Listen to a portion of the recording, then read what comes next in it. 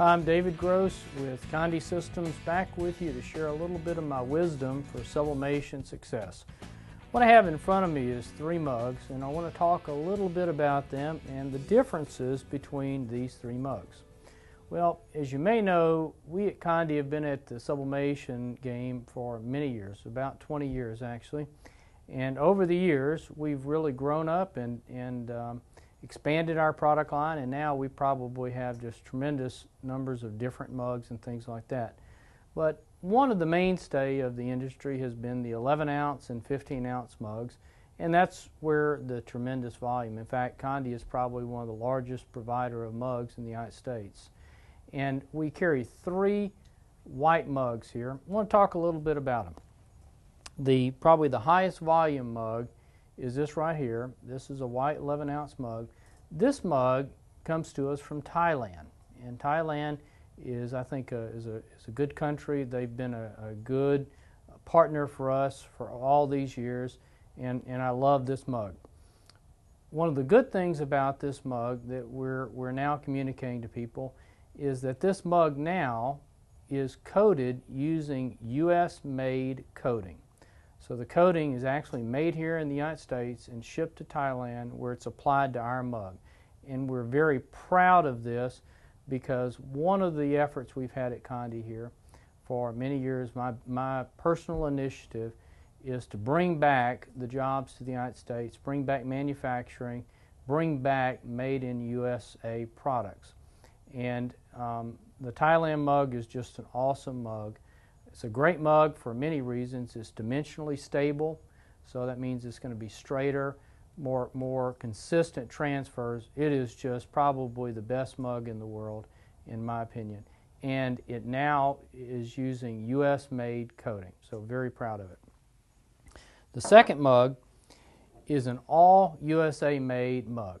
Um, the ceramic is made here in the United States, the coating is made here in the United States, the coating is applied it's it's a 100% USA made mug. And yes, it costs more because the scales of economy, the volumes are not yet there to compete with um, the, the other countries that make mugs. But I can tell you that, that things are headed in the right direction. This mug also is a much heavier mug.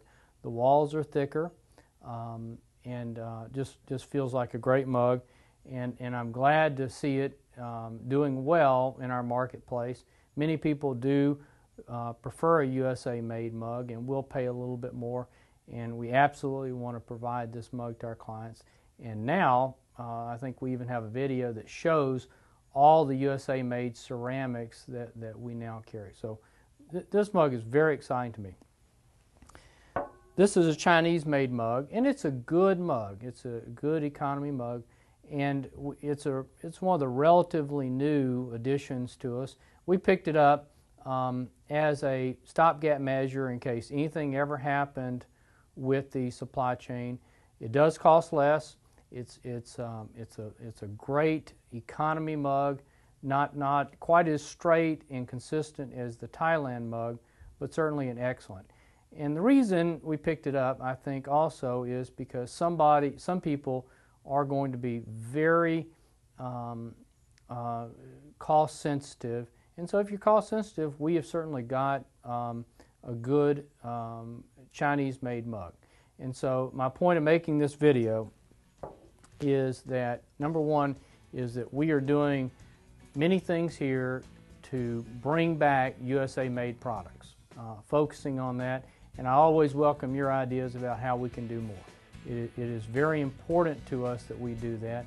Number two is we will always want to carry the best product. And I think the Thailand mug, from an overall point of view, is the best mug in the world by far. Um, in addition, we want to carry products for the very cost sensitive market, and I think we do that as well. And so I hope this has been informative. I welcome your, your questions, your comments. I can be reached at dgross at. Please let me know what you think. Till we meet again, thank you.